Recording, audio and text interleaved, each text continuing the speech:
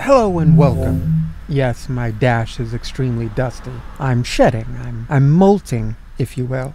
If you've seen this message, if you're the owner of, let's say, a Toyota Highlander hybrid, you might have run into this problem in the past, or will run into it in the future. I'm not sure what models utilize this light, but it, it can be a bit confusing when you do receive it. Uh, I've received this warning light, and then like my car is stopped uh, when it turned over. I think I turned it off and then I turned it back on. And that's a bad idea, especially like if you're on the roadway. I believe you don't want to turn it off and then turn it back on. Like do diagnostics while doing 40. No, you don't want to do that.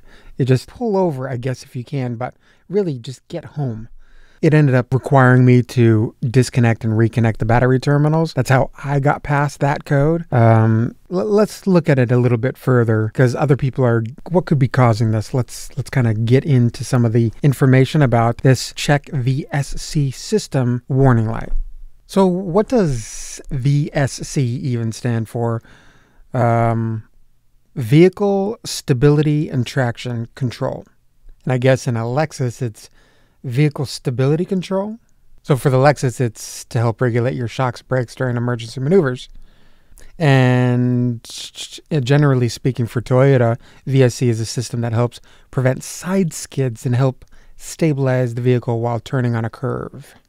So lots of people have had this problem. This guy says, uh, have it scanned at a local auto parts AutoZone. And this guy pointed to the problem could be loose gas cap to the uh, evaporative system um, vacuum leak, and a few other things. This guy says it fixes to purchase a new gas cap.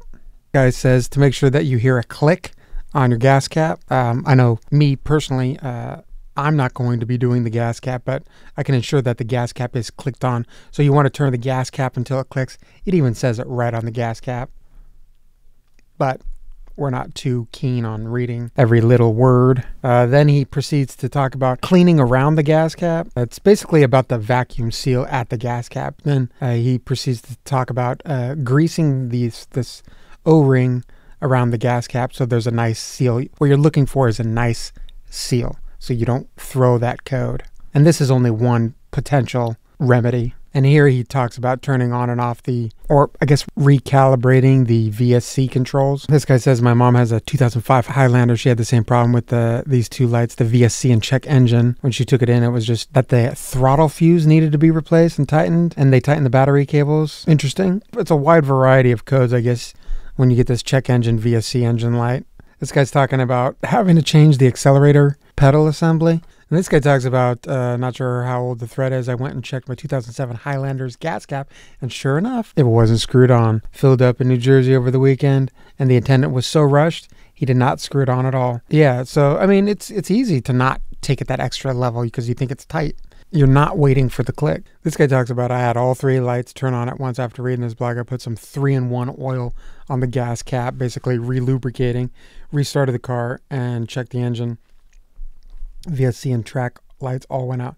I checked the engine with my OBD tool and no codes. So because your gap is not seating correctly, your stability contr- control and traction control turns off so you can skid right off the highway. It makes sense to me, and it totally does does not.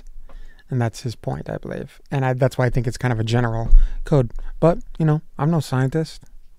This guy talks about 2007 Highlander check engine light and VSC have illuminated twice. Both times the gas cap was not getting screwed back on. Uh, past the one click you should hear. Darn kids! Screwed the cap back on one click, uh, but that does not make the dash light disappear. To make the dash light disappear and reset, I disconnected the battery for five seconds. This is actually what I have done, but I never targeted it down to the gas cap. I just, I just said, hey, something screwed up and and this undoing the battery and putting it back on fixes it. I have an OBD meter. I tried that, tried to get some information, but there weren't any other symptoms and the light went away. So the disconnecting and reconnecting of the battery terminals when you're preferably at home, preferably at home, would be the the trick and the idea. Yeah, and this guy's saying uh, engine check light VSC track off 2006 Toyota Sienna. So I put a little Vaseline on the gas cap O-ring, and presto, no more warning lights. Mean, this is this is usually probably the first, cheapest, easiest thing to check. So I would do that. This guy says, uh, looks like the VSC vehicle stability control is complex in its design. Um, not it is design. Uh, this page below gives a detailed description. Try the other five links. And unfortunately, this page cannot be found. So thanks a bunch. So I guess the big takeaway here is check the gas cap, check the O-ring, make sure there's a nice seal, um, know some of the symptoms that are going on, know what you were doing when the light came on. Don't immediately stop, even though they say that you kind of should. If you're hundreds of miles away, of course, of course, stop. Stop somewhere safe. Don't do a test uh, on the highway like I did, where you turn your car off and turn it back on. Yeah, don't be stupid and get that stuff checked out yeah, post comments, subscribe, like, and all that stuff down in the comment section below. And uh, you guys have uh, one heck, one gosh darn heck of a day. How's that?